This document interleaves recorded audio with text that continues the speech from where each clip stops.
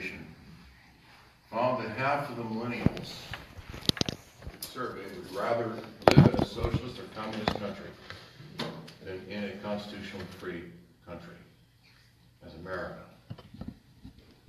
A large number of them, 22%, favored the views of Karl Marx.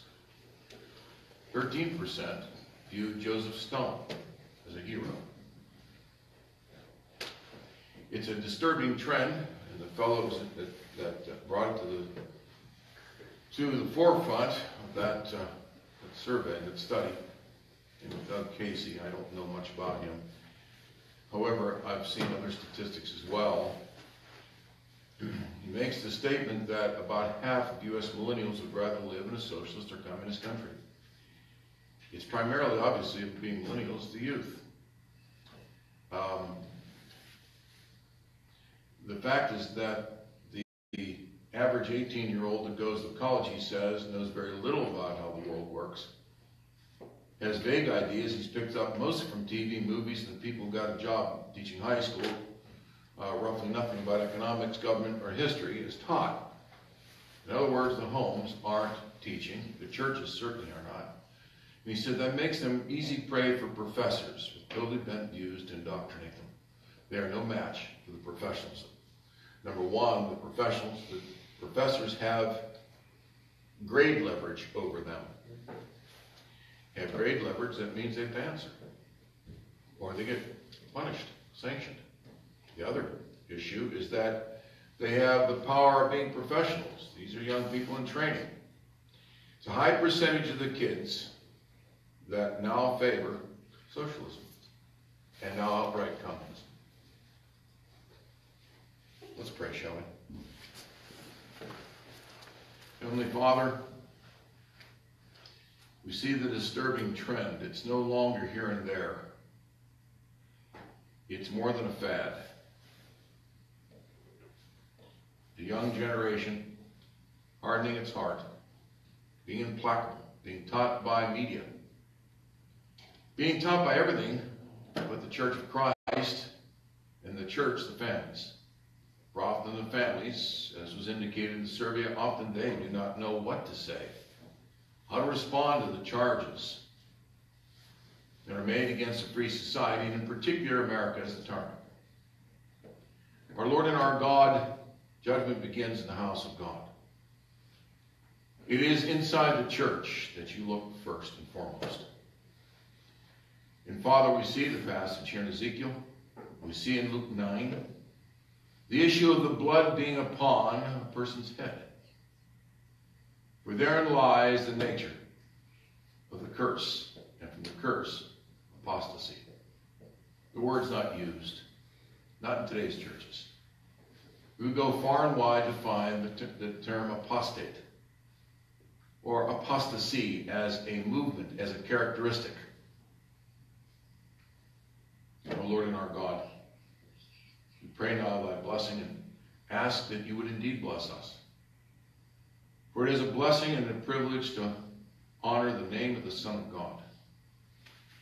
To take his name upon our lips, for so, Lord, you deem it to be a blessing. We know that it is often unpleasant. Nonetheless, it is a charge before thy throne that we remain faithful. The testimony given to us in such a widespread testimony of thy word. O Lord and our God, the subject matter in which we preach, affected and afflicted the Apostle Paul, in fact, all the apostles, affected and afflicted all the prophets, and brought our Lord, your Son, to his cross at the hands of both Jews and Gentiles, even as Paul. And now, Lord our God, we pray that we, being servants, not above our master, must understand and testify in like manner. O Lord and our God, we have nothing that merits the privilege of standing for your Son's name. It is costly. The day will come in heaven, and perhaps here a bit on earth, where outward pleasantries called blessings match our, our, our estate and our profession. That both are one, but oftentimes they are not. So, Lord our God, I pray that your mercy will be upon us as we take your word in hand. At such a time as this, the implacability of a generation turning their back on great blessings, turning their back on freedoms, the fruits of righteousness, they understand not its roots. We ask you, Father, for your help. For it's been a long time coming. This is not a new phenomenon. It's built upon foundations long since laid by others. Now, Lord our God, help us, we beseech thee. For nothing can occur, as we've just described, unless the Church of Christ refused to be herself. It is true, Father. It is true that we are called to teach the nation, but please teach us how. You are long suffering, and there's a framework for that. In Christ's name we pray. We ask you for your mercy.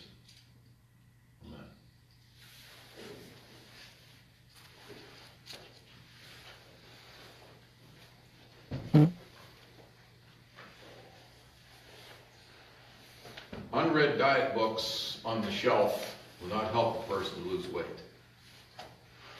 Neither will a diet book that he reads while munching Fritos.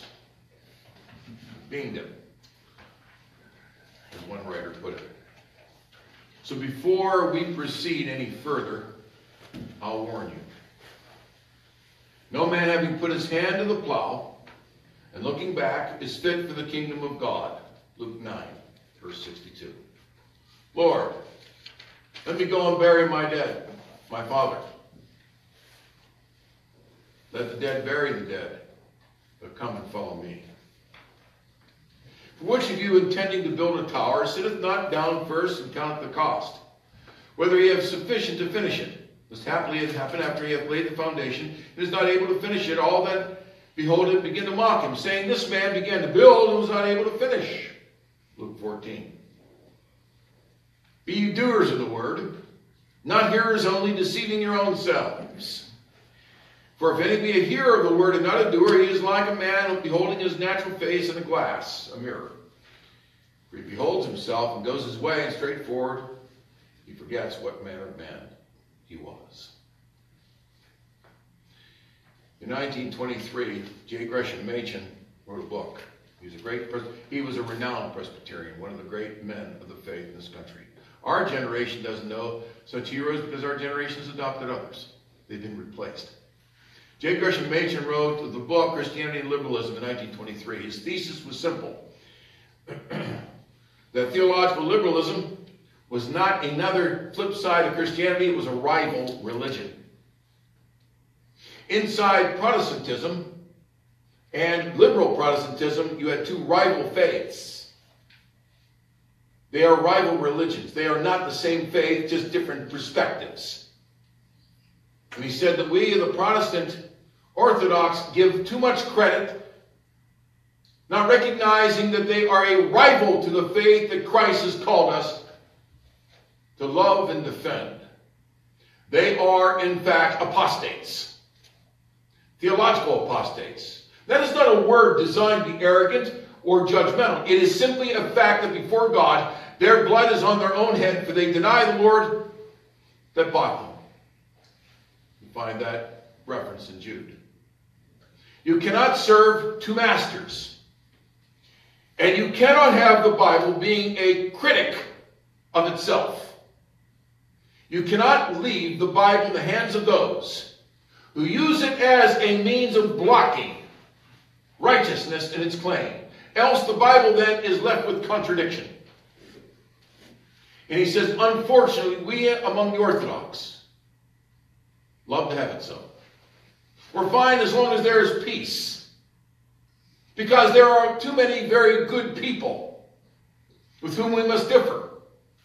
And we are not sparing in our adoration of their loveliness as men and good people as opposed to what, the, what doctrines they bring forward and dissect the church, leaving her damaged or even dead. The cost is too much for a people to bear in the United States, a rival secular political faith has grown called democracy. Democracy, he said, is a religion. It's called man pleasing. It has begotten progressivism, a form of socialism. Our own state was the herald of that progressive movement. However, progressivism is not divorced from the churches.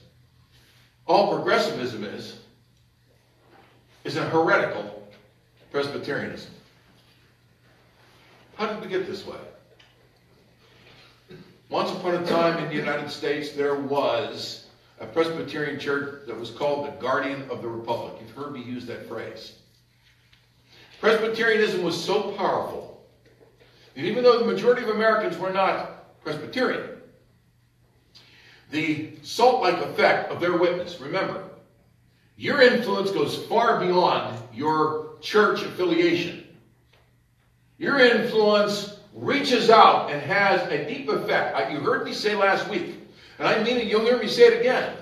Every Christian, given Christ's words and the definition of tipping point, if that's a valid issue, meaning that a small fact or a small movement or an event can explode into great and exponential results and benefits, or the results, or I mean, excuse me, or the opposite curse.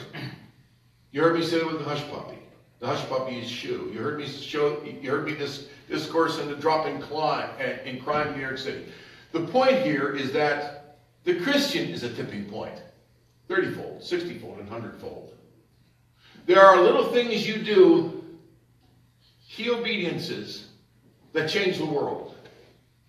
You might not live to see all that, but when you take a stand for that which is upright, that obedience is taken by God into the world and bears fruits that you know you may not ever know anything about until you stand before the Lord. Machen made the point that that is exactly what is happening, except in the opposite sense. Because there is a satanic spiritualism. And they get their 30-fold, 60-fold, and 100-fold. They entered the fray, he says, among the Unitarians, turned liberal later on, they entered the fray knowing they were in the minority, the extreme minority, and they entered the fray to win. in 1923, by that time, they had practically won. The changes they want, they, they wanted, they've gotten, he said.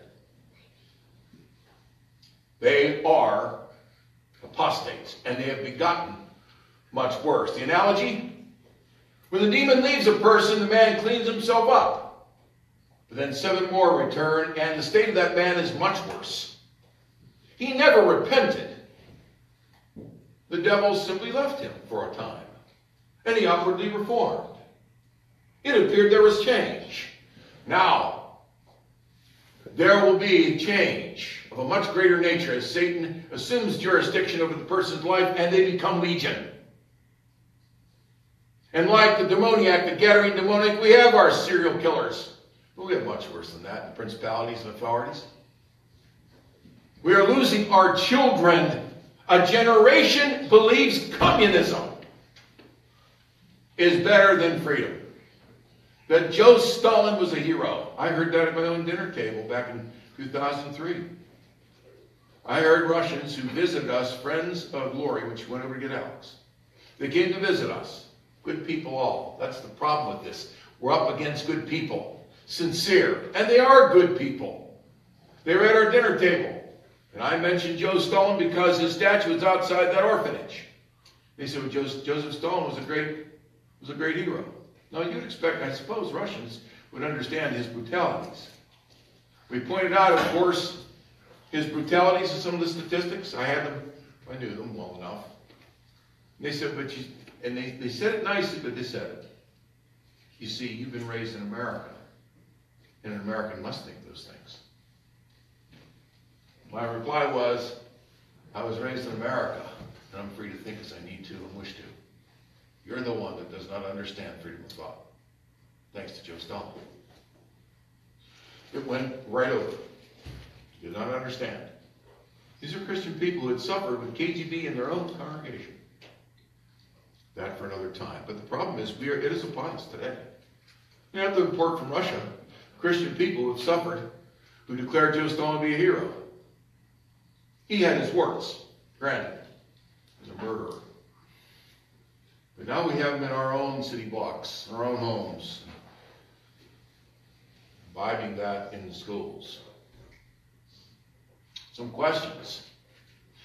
If Presbyterianism, and that included, by the way, the Presbyterians, the Congregationalists, and Puritans, they were all pretty much the same government, same kind of governance, ruled by eldership or pastors. If Presbyterianism was the guardian of the Republic,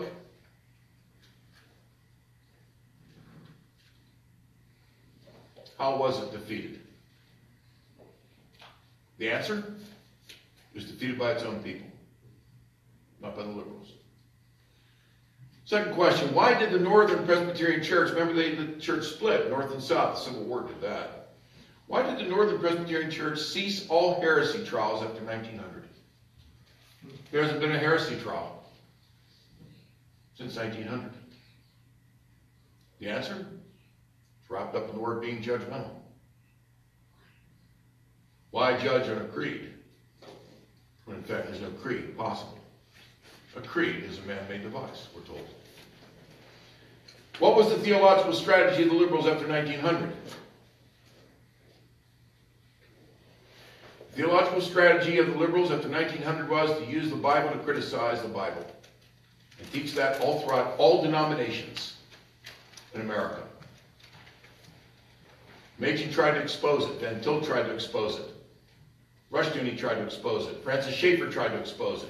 Use the Bible to criticize the Bible, and if a person is left with a contradiction, that's just fine, as long as they blocked you, the one trying to teach the truth. If that's the success, then a contradiction is okay in ethic. That continues, you will not have a Bible alone as an authority.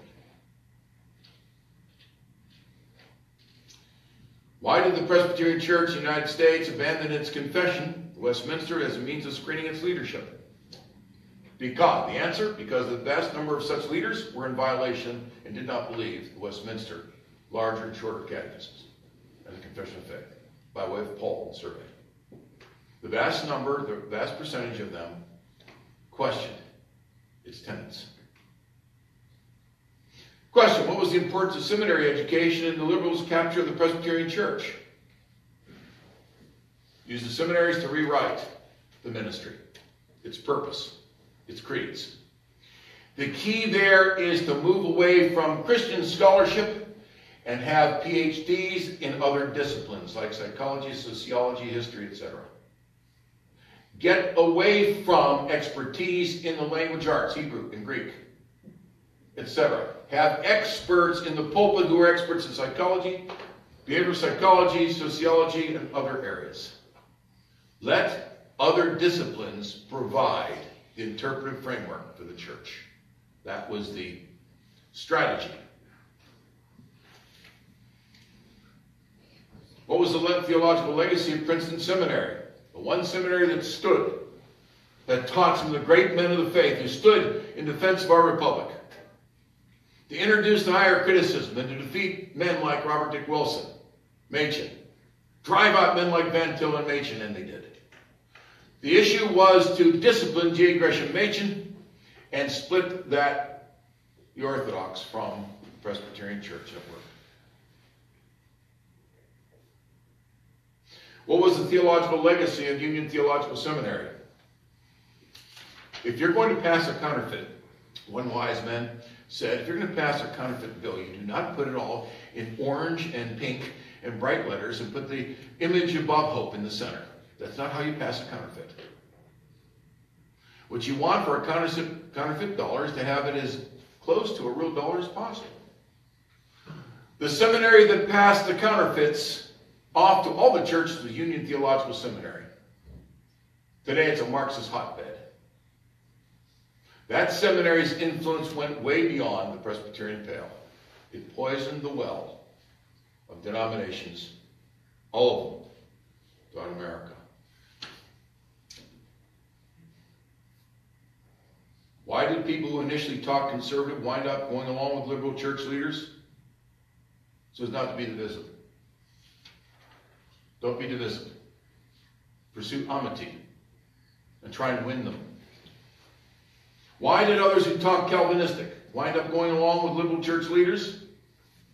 The answer, because they were ashamed of Calvinism. It was too rigorous. And therefore they compromised themselves. How was a Baptist, John D. Rockefeller, involved in the Presbyterian conflict? John D. Rockefeller Jr. purchased influence in the denominations, all individuals sitting in the synods, the general associations, the hierarchies, and by there can neutralize, resolve against the progressive movement in particular. Money talks. And as Machen pointed out, and my people love to have it so. Ultimately, why was it that the people of God surrendered their churches? Machen's answer, the day will come when another generation will love the law of the Lord and not be so willing to part with it as the foundation, the interpretive principles and ethics of a people. Right now, we are accustomed to a lawless Christianity. Therefore, the Lord will judge us. I'd like you to turn to Ezekiel chapter 3, please.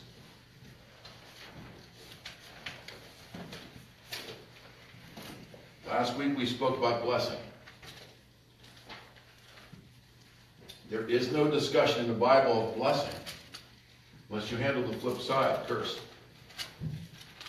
Ezekiel chapter 3, a passage that perhaps more than any other passage in the Bible, but to me personally, because of its implications.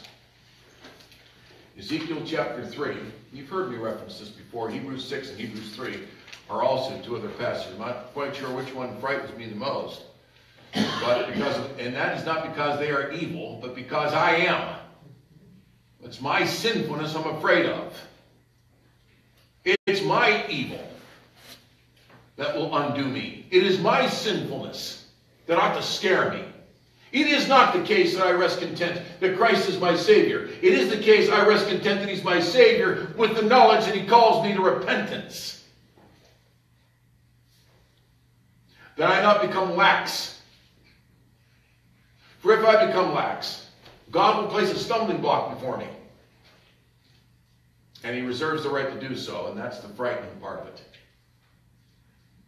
You should notice that the passage speaks in two cases. If, as a watchman on the walls, I make you a watchman, he says, and he's speaking to God's people, if there's a wicked man, and you do not warn that wicked man, then his blood I will require at thine hand. Now, obviously, you're not, you're not responsible for everybody in the phone book. God is a providential God. We are providentialists. God places you in circumstances whereby you can fruitfully bring witness and testimony of his name. Not every day brings a new person into your life. So we're not being silly here in our claims. What we are, however, saying is that if a wicked person is to be judged and you don't warn them, then God will require that blood of your hand. Now, if you do warn them, you delivered your soul. If a righteous man turns from his righteousness, verse 20, and commits sin, I lay a stumbling block before him.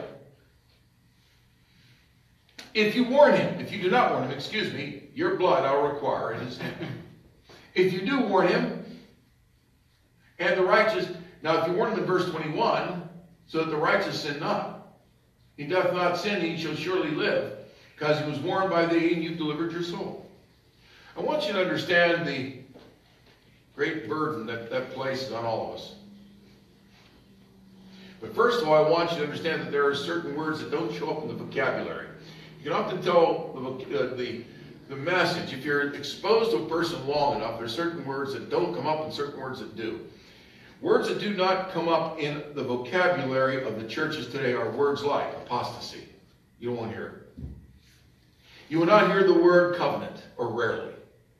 Even the word righteousness you won't hear. You hear about getting saved, and that's good, nothing wrong with that. But you don't hear about imputation because it's not taught. You don't hear justifying faith. You hear about getting saved. You don't hear the word, here's one, heresy.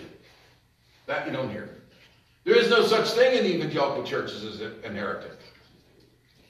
It doesn't exist and it is not taught. Much less is there alarm. And I would say the same of the Reformed. We're not much better if we are better at all. Heresy and heretic simply aren't named. Apostate and apostasy. Righteousness.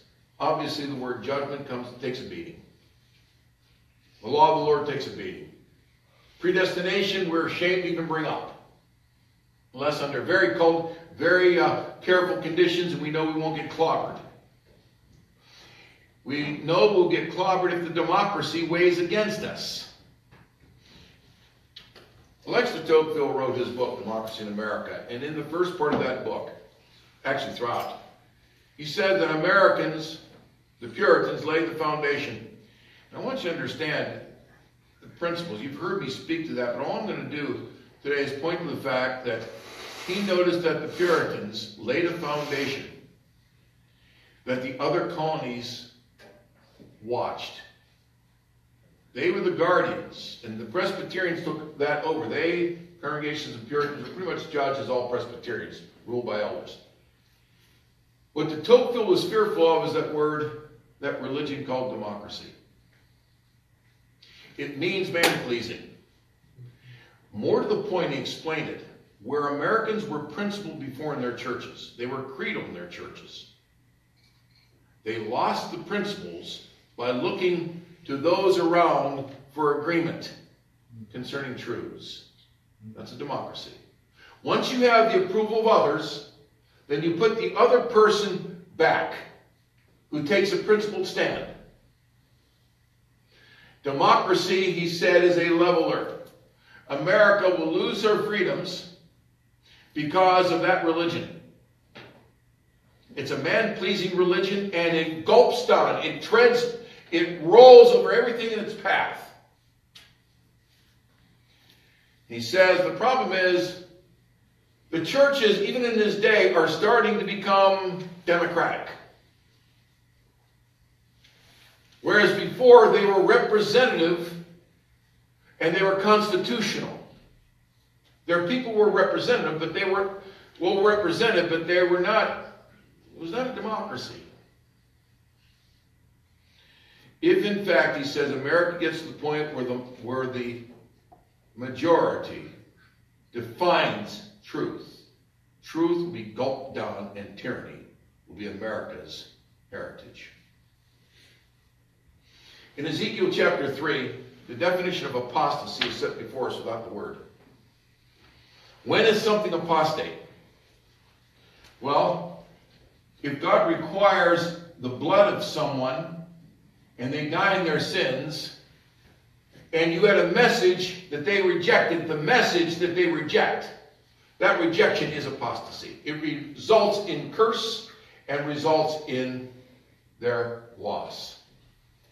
The problem is the blood can be upon you. I want you to understand how dangerous this is. Go to Romans, if you would, chapter 11.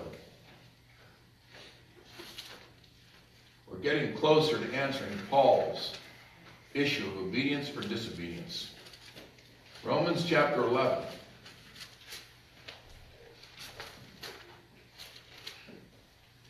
In Romans chapter 11,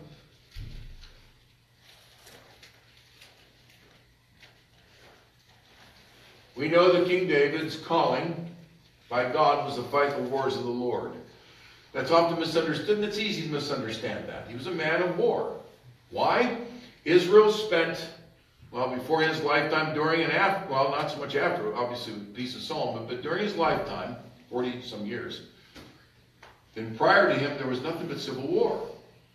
There was invasion of Amalek, uh, there was invasion by uh, Philistines, multiple invasions, Syrians, Moabites, Edomites, Ammonites, and they had the tyranny of Saul to contend with. They had the banditry of Amalekites and Kenites. They had a disrupted union Israel was up for grabs for any bandit, thug, or invader.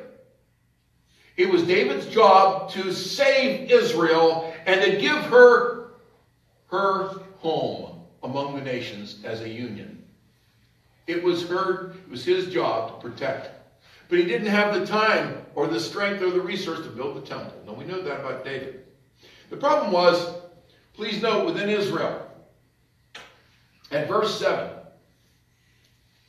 in uh, Romans 11 at verse 7, what then? Israel hath not obtained that which she seeks for, but the elect has obtained it, and the rest were blinded.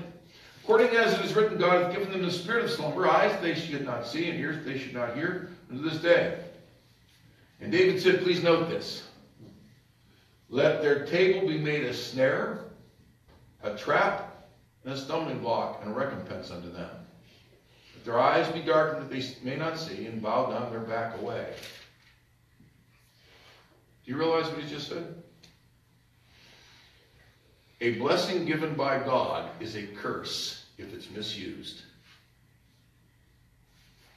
Any blessing given by God becomes a curse upon its abuse. Or, more especially, if it does not is not used to give glory to Jesus Christ.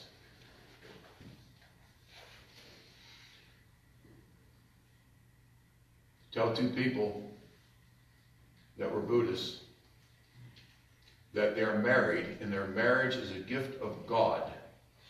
But in their idolatry, they are abusing that gift, is, is to call them apostates. God gave them the gift of marriage. But they are to use the marital relationship to bring glory to Jesus Christ. Well, my religion doesn't teach me that. That's not my, that's not the issue. That's not my point. Now you say it as gently and as charitably as you can, but the fact is, marriage is a gift of God. Churches are a gift of God. Here the church, remember Israel is called the ecclesia of God, the church of God, or synagogues or churches. They attacked David. They maligned him. They rejected his call for the law of the Lord and the rule of Christ. He said, therefore, let their table, that's their Passover table, be a snare.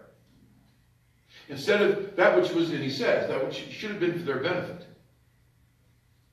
is now to their condemnation. Turn over to Joshua chapter 11, please. Chapter 7.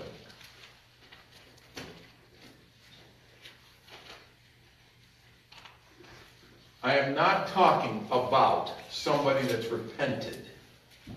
Let's be, let's be clear about our applications. We are all sinful. If a man or a woman having sinned live repentantly, in other words, their fruits show a different lifestyle, that's repentance. We walk with them. If not, then what's this? Oh, let's close the doors. Redemption then cannot apply. We're not talking about that. I want you to take a look here in jo Joshua chapter 7. In verse 1, the children of Israel committed a trespass and the accursed thing. Achan, the son of Carmi, the son of Zabdi, the son of Zerah, the tribe of Judah, took of the accursed thing. They were told not to take the spoil of Jericho. They were forbidden. Achan stole some of it. When they went into the city, he found some loot. He found some probably gold and silver. You know, he found some things. He took it back. He hid it. In fact, he hid it successfully in their tent. Under. Pardon? Under. Yeah, well, yeah, underneath. Yeah, underneath, not inside per se. I meant underneath the thing. He hid it underneath their tent, and he covered it over. Is the point? Israel is falling in battle. They went from winning at Jericho. They had won on the other side against uh, Og and Sihon, Sihon and Og, giants. They had crushed them. They cross, the Jordan opens up, they cross over the Ark of the Covenant, they, Jericho falls in front of them. Then they go after one little town called Ai. It was hardly a speck, hardly a hamlet. And they're routed. 36 men die. Now, what Joshua and the leaders did not do, they did not relativize the apostasy. They did not say, anything like the following. Well, that's what happens in battle. They cried unto God and they said, Why are you against us? And God came back with the answer. Look what he says. At verse 11 Israel hath sinned. Let that sink in. Israel hath sinned. I didn't take the stuff and put it underneath my tent. Israel hath sinned. The covenant was broken. The people were chargeable.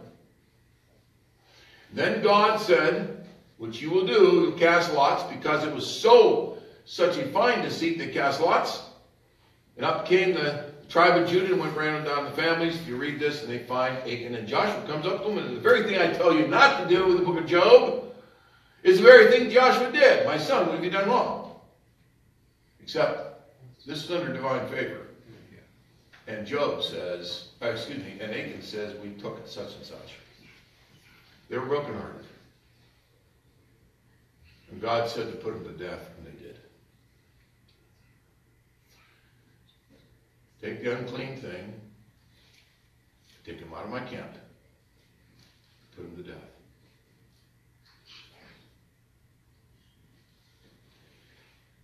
That doesn't seem to square with the long suffering of Jehovah. Does it? I mean, what chance that he can have?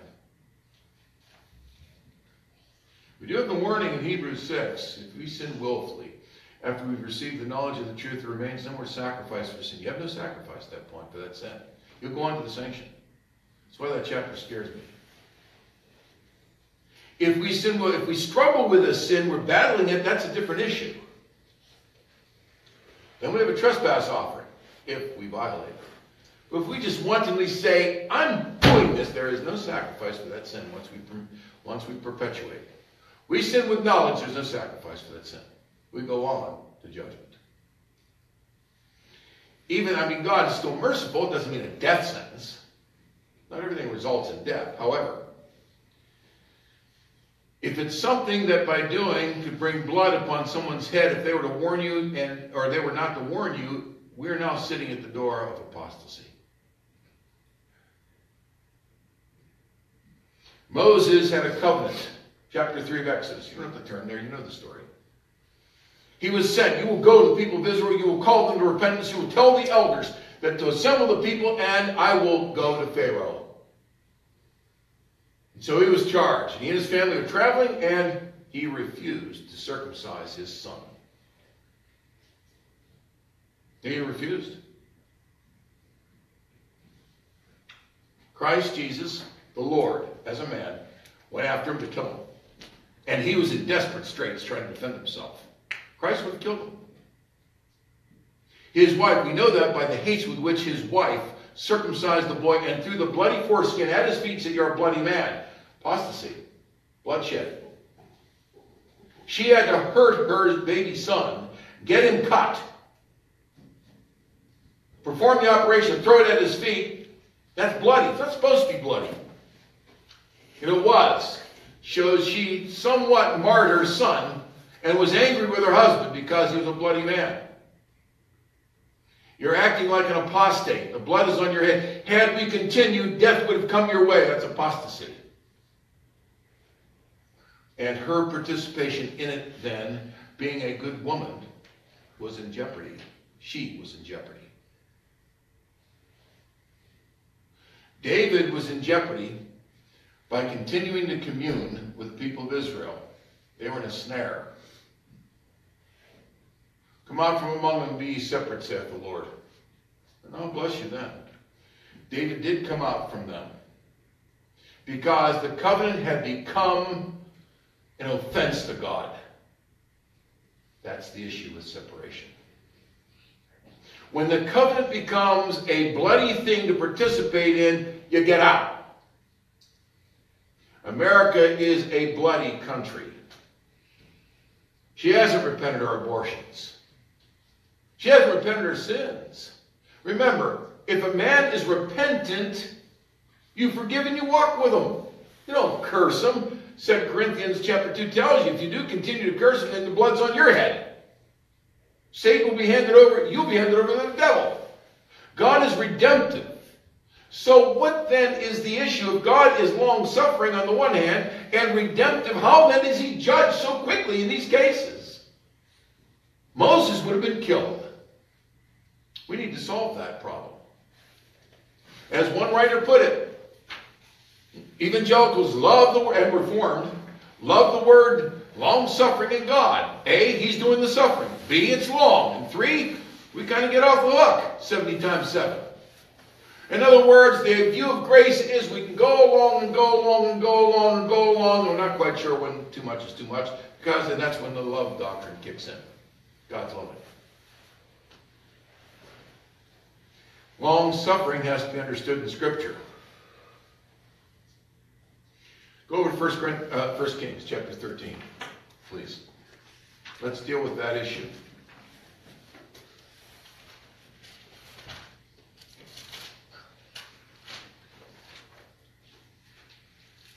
First Kings chapter 13. Excuse me, Second Kings 13.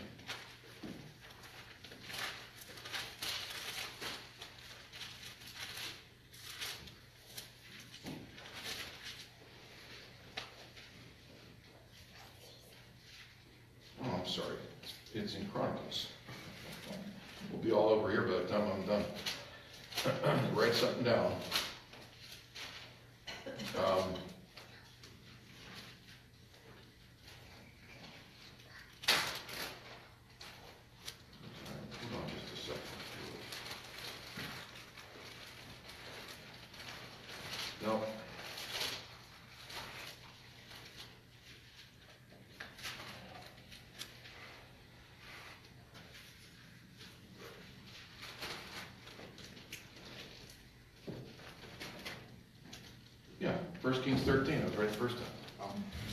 So what happens when you can't read your own notes. 1 Kings chapter 13. 1 Kings chapter 13. At verse 8. For some reason I was looking at verse 18. Verse 8. A young prophet was sent to bear witness against Baal. His instruction was go to the shrine, condemn it, and go home, and do not stop to eat anywhere. Note, stopping to eat and having communion and fellowship with another person that's of a kindred spirit isn't normally a good thing. It's hospitality. You are to go there, you are to condemn the Baalish shrine, and you are to leave and go home and not stop anywhere. Well, in verse 8, the man of God said unto the king, Thou wilt give me half thine house, I will not go with thee, neither will I eat bread nor drink water in this place. The king offered. Come and commune with me. He said, I can't do that. God said no.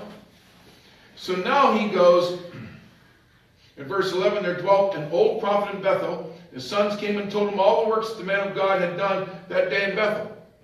So he went out and he called the young man. He said, Look, I have, I was told by the Lord that you can come and sit down and commune with me. And the young prophet did and went and sat down with the old prophet. And while they're eating, of course, he claimed an angel had spoken unto him.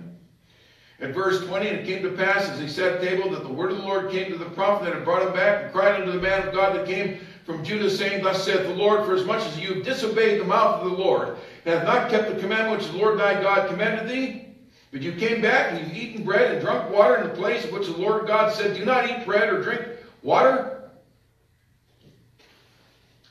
A lion tore him up. He died. The man who had brought him into a covenanted fellowship laid a snare for him in his disobedience. The man went out, he was torn by a lion. It seems to make our problem worse, doesn't it?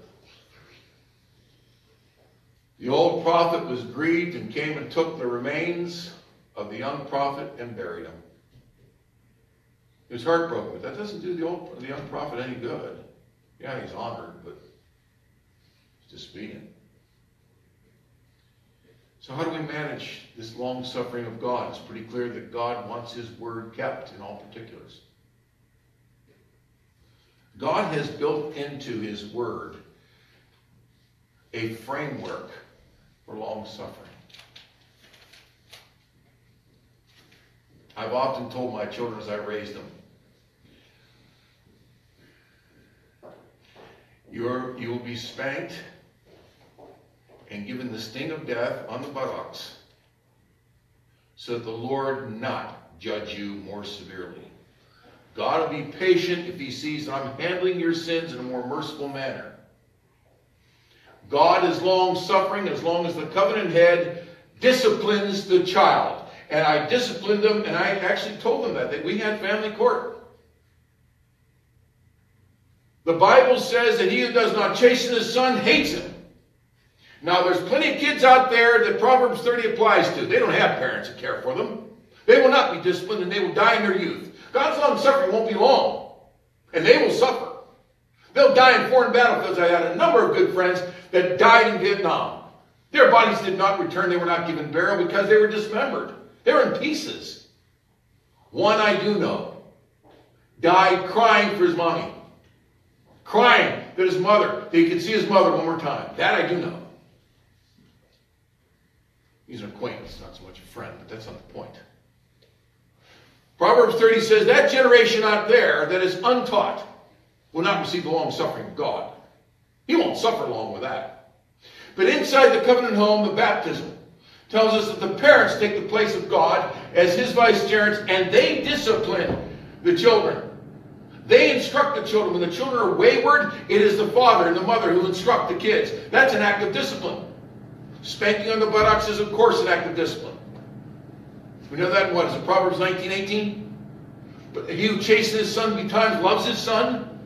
But when it comes to the instruction, that's your immersion of the child. And the children are taught, and you young people do understand, and parents understand, that that is the long suffering of God. God will sit back and say, I will see how this, I will see how this takes place. I will see the results in their lives. I will wait to see if repentance and redemption are the proper results. That's the issue. If the parents honor are honored by the children and the parents honor the children and both come to come to pass despite the sins there's redemption. And the church of Jesus Christ must be preaching redemption. If we don't close the doors. We all sin. It's not so much the past sin you've heard me say. It's the failure to repent and the failure to redeem. However God's not a fool he won't be long and he will not suffer if the means of his grace are not used David left and chastised Saul's table, would not eat with him again. The old prophet reproved the young prophet. Why did you disobey? No, he was capable, he was culpable. He grieved. He's the one that misled and laid a stumbling block before him, as the Lord says in Ezekiel he would do.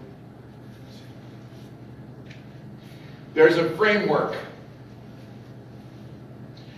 I'd like you to go in Luke chapter 9. Turn over to Luke. In Luke chapter 9.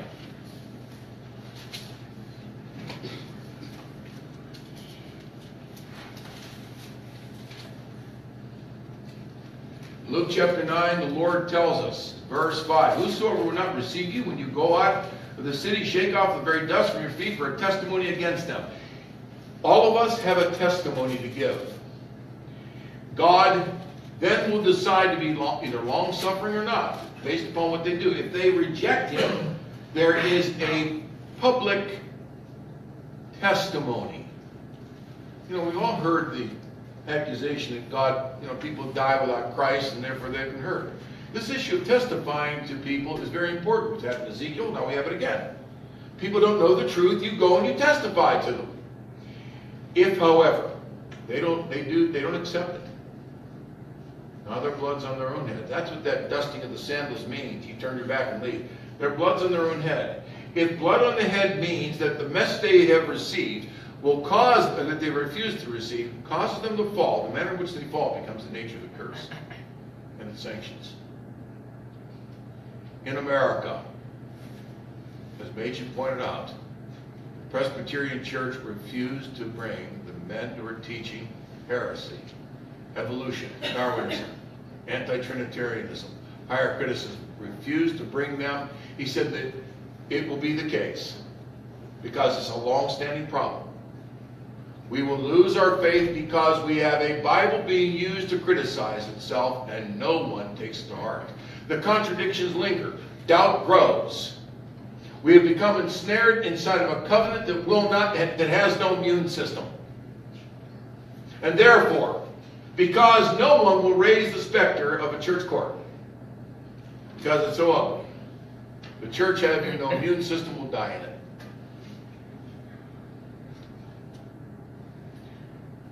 1 Corinthians chapter 11.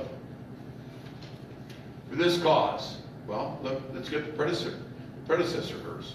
Is there not one wise man among you that can handle these things? Paul writes. Wise man's no. For this cause, because you do this, you eat and you drink, you're not charitable, you eat and drink, even unto drunkenness in your church feast. For this cause, some among you, many among you are sick, and some sleep.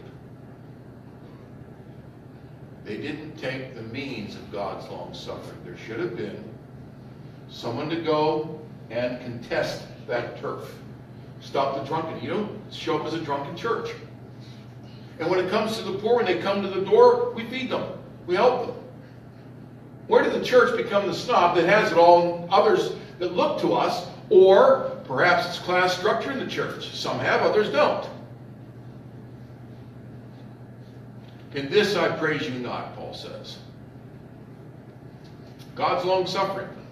When Peter and Barnabas listened to the dissimulation of those that said Jews and Gentiles in the church should separate out, Paul made a trip there immediately. Why? Well, he was doing, dealing with the Galatians. In that book, he uses that example, chapter 1, having announced an anathema upon the Galatians. You're substituting the gospel. He then uses chapter 2 as his example. He went and he said, and I confronted Peter to his face because he was to be blamed. When there is, Matthew 18, when there is church court, for example, the Presbyterian level, heresy, I believe Reformation in your day will mean you will hear of heresy trials. I haven't heard of one in 30 years. There was one at Westminster when I was going there. And it had just, it was just finishing. That heresy trial tore everything apart, ripped everybody, everybody was gutted and bleeding. As a result, the man who taught me the higher criticism by embracing it in class got away with it because he knew very well no one knew no one wanted a church court. Dr. Ray Dillard had no problem whatsoever in teaching higher criticism in class and denying inerrancy in class. It was left to a kid, me, to have to contest him in class. And how arrogant is that, that a young student's got to, and went all the way to the, the top of the president's office. That's unfair. And I did not get my degree because I couldn't get past the chairman of the Old Testament department, Dr. Ray. That's unfair.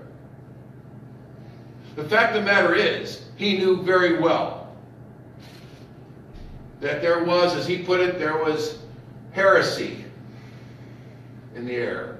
Nobody wanted to deal with it anymore. Too disruptive.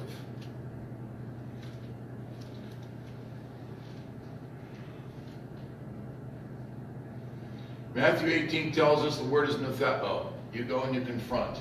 You do so as charitably as possible, but you confront. Second step is witnesses. Third step is church court. There's a lot that happens in between to try and redeem it. This is not some formula that you just go through. People's lives are at stake. But as Machen pointed out, the church has an immune system and God is long suffering. As long as in the long suffering we step up to plate. The people at Corinth were in jeopardy because there was no wise man to judge.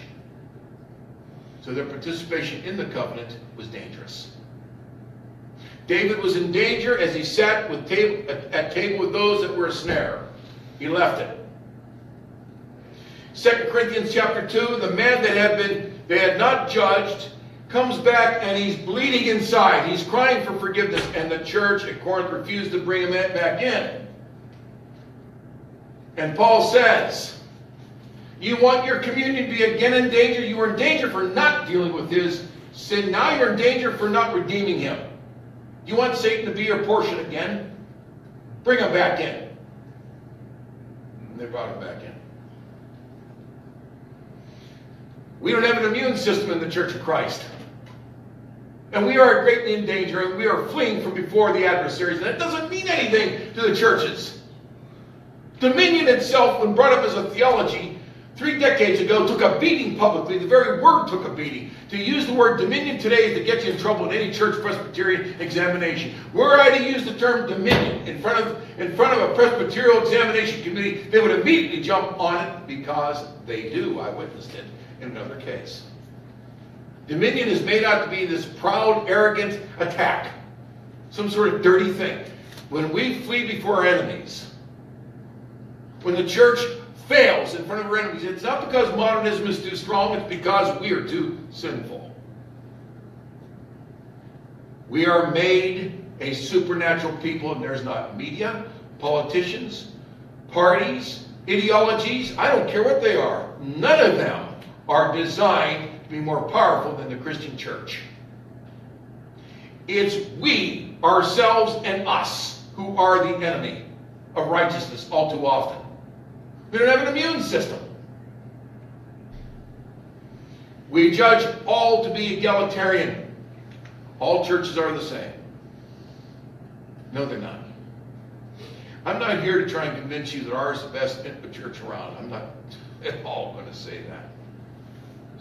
I am going to say that we better be faithful to the truth and testify where we can instead of having them make us flee when we know we've got these truths.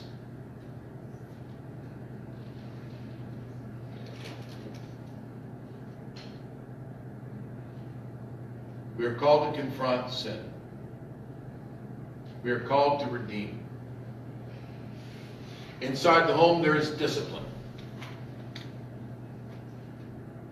There is a discipline and a united front of mom and dad. Nothing like the following ever occurs in your home, I'll, I'll wager. You come home after a hard day, the wife comes to you and says, she or he, the child, Jack, I'll make one up. Jack was disobedient. Well, then there's division over that. No, there's a united front. Why can't the church take a stand like that against evil? Because she doesn't have the standard judicially to do that. The Apostle Paul was charged at the outset of his apostolic ministry. You will stand before kings. He took 30 years of ministry to lay the foundations of the church. He was a Nazarite, and he had by the law of the Lord to offer the Nazarite vow at Jerusalem. He waited until the end of his ministry. By the law of the Lord, he was compelled to go, irrespective of anyone else or anything else. If he did not testify against the rulers of his people who represented his people, Their blood was on his head. I'm a Jew of the Jew. I'm a Pharisee of the Pharisees. I would give if necessary. Please note this. Note the importance of the passage. I would give everything for my brethren.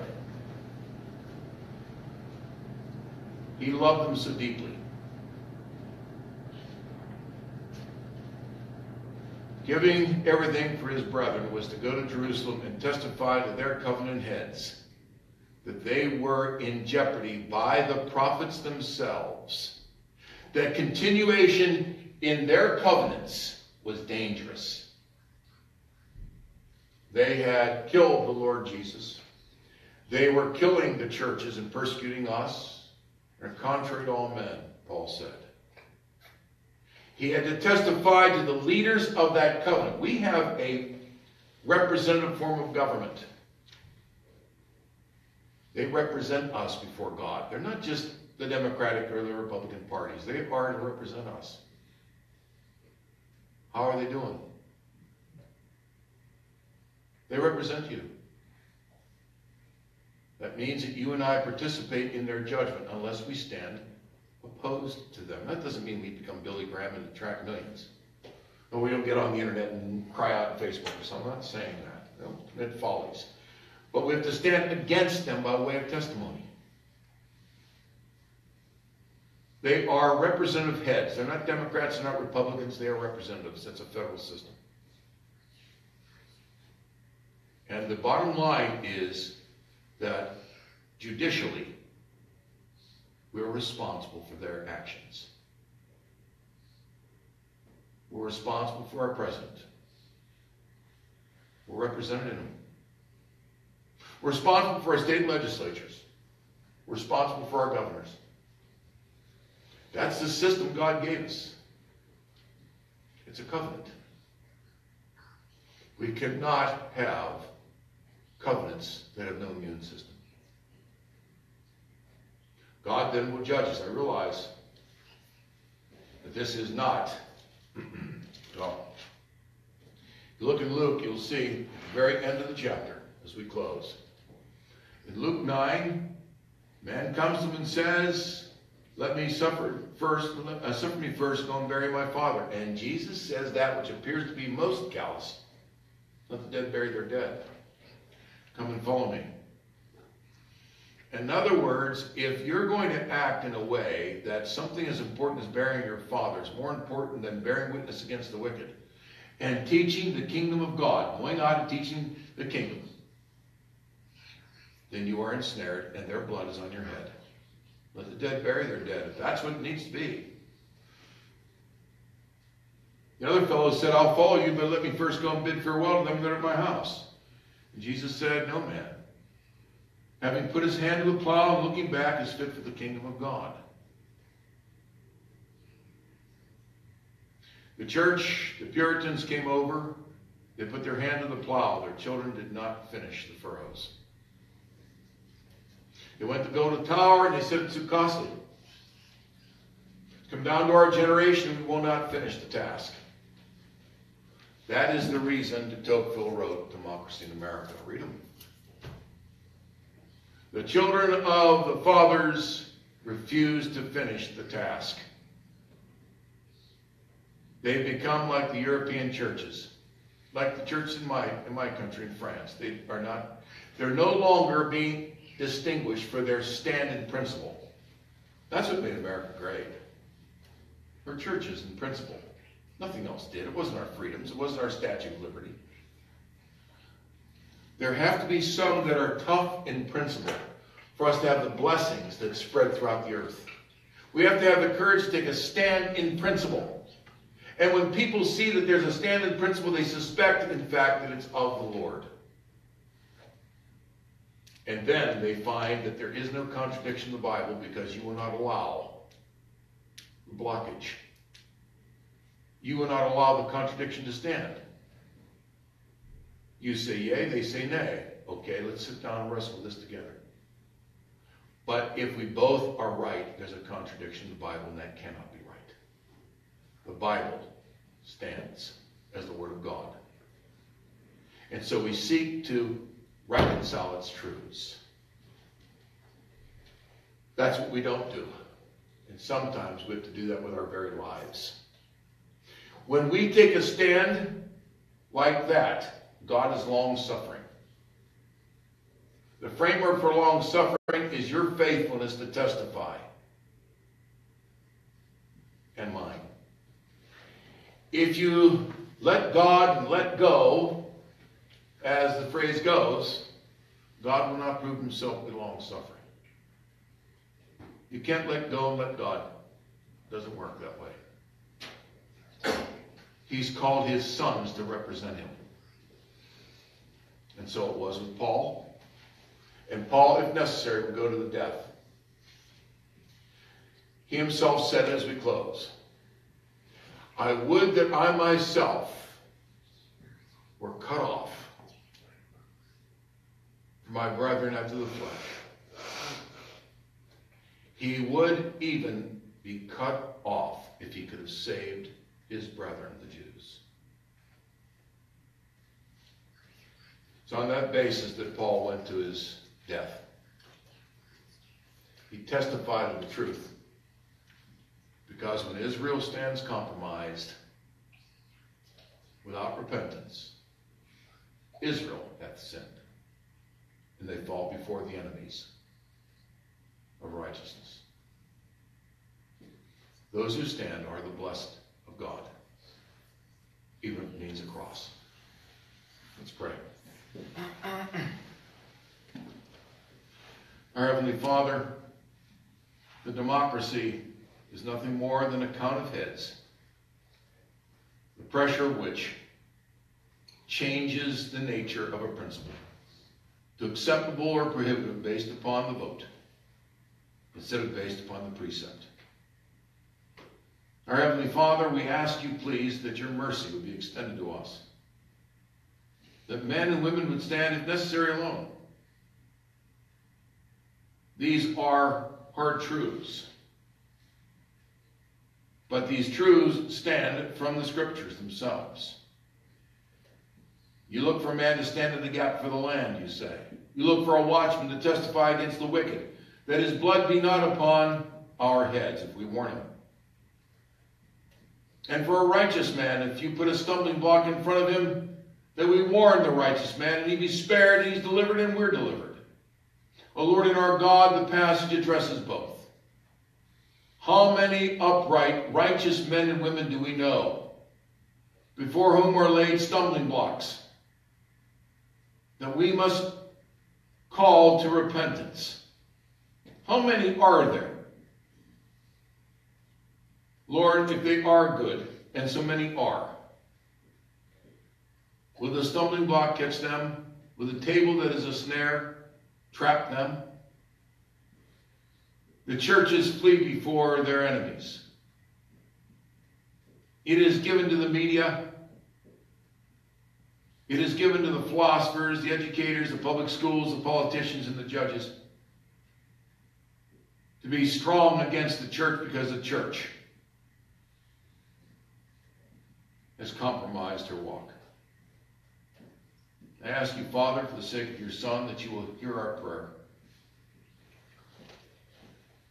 And blessed is he who is not ashamed of thee. We ask this in Christ's name. It's in his name that we pray.